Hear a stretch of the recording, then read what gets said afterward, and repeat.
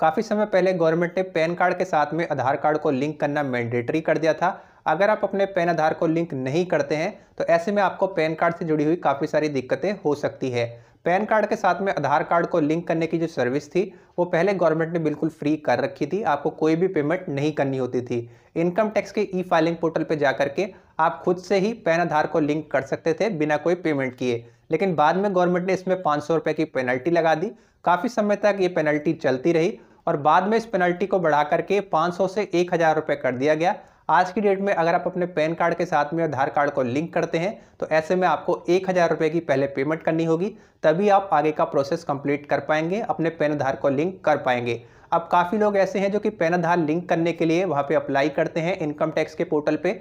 वहाँ पे एक हज़ार रुपये की पेमेंट भी वो कर देते हैं। और जब बाद में अपना स्टेटस वो चेक करते हैं तो वहाँ पे उनको नेम मिसमैच या फिर डेट ऑफ़ बर्थ मिसमैच इस तरीके का मैसेज शो करता है। तो ऐसे में उनको या तो अपने आधार कार्ड में करेक्शन कराना होता है या फिर पैन कार्ड में करेक्शन करवाना होता है, ताकि उनके पैन कार्ड की डिटेल और आधार कार्ड की डिटेल दोनों सेम हो जाए और उसके बाद वो फिर से अप्लाई करते हैं और अप्लाई करने के बाद में उनका जो पैन आधार है वो लिंक हो जाता है। काफ़ी लोगों के मन में यहाँ पे एक क्वेश्चन रहता है कि हमें डेट ऑफ़ बर्थ मिसमैच और नेम मिसमैच की प्रॉब्लम आ रही है तो ऐसे में हमने करेक्शन भी करवा लिया है।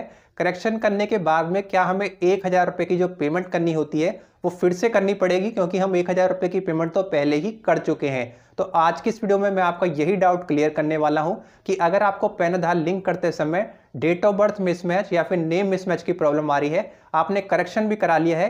तो करेक्शन करने के बाद में जब आप दोबारा से अप्लाई करेंगे तो क्या आपको एक हज़ार रुपये की पेमेंट करनी है या फिर नहीं? तो ये वीडियो सभी के लिए बहुत ही ज़्यादा इंपॉर्टेंट होने वाली है, जो कि अपने पैन आधार को लिंक करना चाहते हैं और उनको डेट ऑफ़ बर्थ मिसमैच या फिर नेम मिसमैच की प्रॉब्लम आ रही है।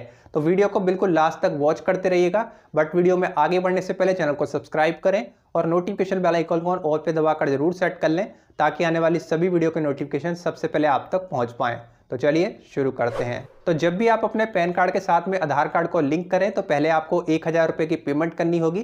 पेमेंट करने के बाद में आपको 48 से बहत्तर घंटे का वेट करना है। उसके बाद में आपको दोबारा से पोर्टल पर जा करके वहाँ पर पैन आधार लिंक के लिए अप्लाई कर देना है। लेकिन काफ़ी लोग वहाँ पे अपना स्टेटस चेक करते हैं तो उनको डेट ऑफ़ बर्थ मिसमैच और नेम मिसमैच की प्रॉब्लम आती है। उसके बाद में वो अपने पैन आधार में करेक्शन भी करवा लेते हैं। करेक्शन कराने के बाद ही लोगों के मन में डाउट रहता है कि अब हमें किस प्रोसेस को फॉलो करना है। तो देखिए, अगर आपको डेट ऑफ़ बर्थ मिसमैच की प्रॉब्लम आ रही है या फिर नेम मिसमैच की प्रॉब्लम आ रही है और आपने अपना करेक्शन भी कंप्लीट करवा लिया है तो फिर आपको जो एक हज़ार रुपये की पेमेंट करनी होती है, वो फिर से करने की बिल्कुल भी ज़रूरत नहीं होती है।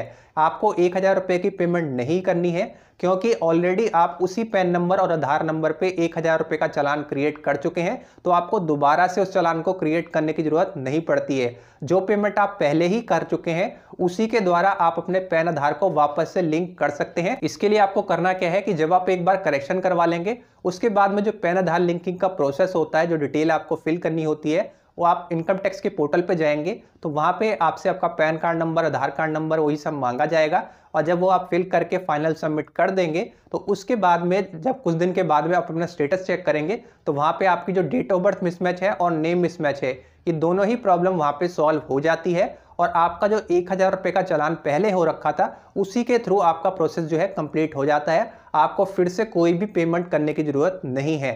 तो जिन लोगों के मन में डाउट है कि करेक्शन कराने के बाद में क्या उनको एक हज़ार रुपये की पेमेंट करनी है या फिर नहीं तो आपको बिल्कुल भी परेशान होने की ज़रूरत नहीं है। आपको एक हज़ार रुपये की पेमेंट कहीं पे भी फिर से करने की ज़रूरत नहीं है। अगर आप एक बार पेमेंट कर चुके हैं, आपको date of birth mismatch name mismatch की दिक्कत आ रही है, आपने करेक्शन भी करा लिया है तो आपको फिर से वो पेमेंट नहीं करनी है। पैन कार्ड, आधार कार्ड को लिंक करते समय डेट ऑफ़ बर्थ मिसमैच या फिर नेम मिसमैच की प्रॉब्लम को किस तरीके से सोल्व किया जाता है? इस संबंध में चैनल पे काफ़ी सारी वीडियोस अवेलेबल हैं। ऊपर आई बटन में सभी वीडियोस का मैं लिंक आपको दे दूँगा या फिर डिस्क्रिप्शन बॉक्स में लिंक दे दूँगा। वहाँ पे जाके उन सभी वीडियोस को आप वॉच कर सकते हैं। तो इस वीडियो में आपने देखा कि पैन आधार लिंक करते समय जितने भी लोगों को डेट ऑफ़ बर्थ मिसमैच या फिर नेम मिसमैच की प्रॉब्लम आ रही है, उन्होंने अपना करेक्शन भी कंप्लीट करा लिया है। तो आगे उनको एक की पेमेंट करनी है या फिर नहीं। उम्मीद है आज की ये वीडियो आप सभी को पसंद आई होगी।